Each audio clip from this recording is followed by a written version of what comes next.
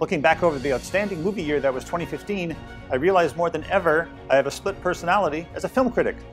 My affections were divided between pictures big and small, ranging from a galactic blockbuster screened in IMAX to a tiny Sundance discovery shot on iPhones. Here are my top 10 favorite movies of 2015, presented in reverse order to maintain the suspense. Number 10, Tangerine. Shot entirely on iPhones and with a budget that wouldn't cover cab fares on a blockbuster, Sean S. Baker's indie dramedy makes virtue of necessity. In this Sundance sensation about transgendered sex workers, a pimp, a cabbie, and an angry mother in law in lowdown Los Angeles. Number 9, Amy.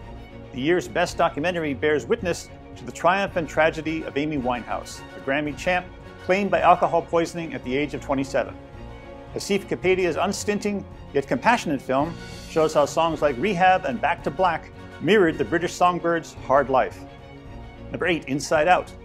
Deep thoughts meet high spirits in Pixar's magnificent head trip, which takes us inside a young girl's mind and also along the yellow brick road.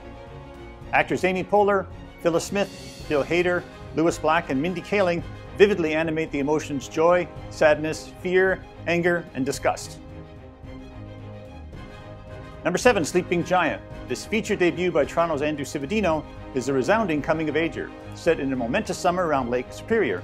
Grand leaps, both physical and emotional, await the film's combustible teen males, played by promising newcomers Jackson Martin, Nick Serino, and Reece Moffett.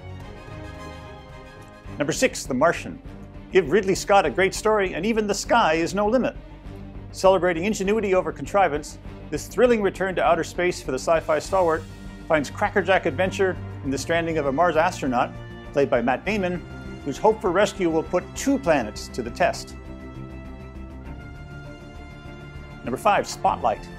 Good old fashioned journalism makes for great drama, and Thomas McCarthy's retelling of the Boston Globe's 2002 expose of a pedophilia scandal and cover up within the Roman Catholic Church. Michael Keaton, Rachel McAdams, Mark Ruffalo, and Liev Schreiber make ink and shoe leather exciting. Number four, Mad Max Fury Road.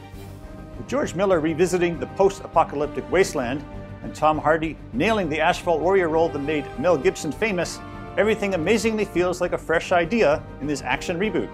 Charlize Theron seals the deal as a female road demon who is every bit Max's equal and then some. Number three, Son of Saul, a sobering stunner about the Holocaust and one man's struggle to regain his humanity within the Auschwitz death camp. Laszlo Nemes's feature debut brings home the reality of the Nazi horror while also leaving much to the imagination. Number two, Todd Haynes' lustrous drama of forbidden 1950s romance, carrying Cate Blanchett and Rooney Mara in the year's best love story, reminds us how bad things used to be for non traditional couples. Carol also invites us to remember how beautiful mad passion can be and to swoon along with it. And my number one movie of 2015, Star Wars The Force Awakens. The year's biggest movie also happens to be the best, and you don't have to embrace the dark side to say it. J.J. Abrams' terrific reboot of the beloved sci fi franchise deftly connects the original Star Wars cast and story with new players and inspiration. It's the most fun I had at the movies all year. That's it for 2015. Thank you for watching and reading, and if you'd like more of my reviews, please check out my book, Movies I Can't Live Without, which is available for purchase through starstore.ca. For the Toronto Star, I'm Peter Howell.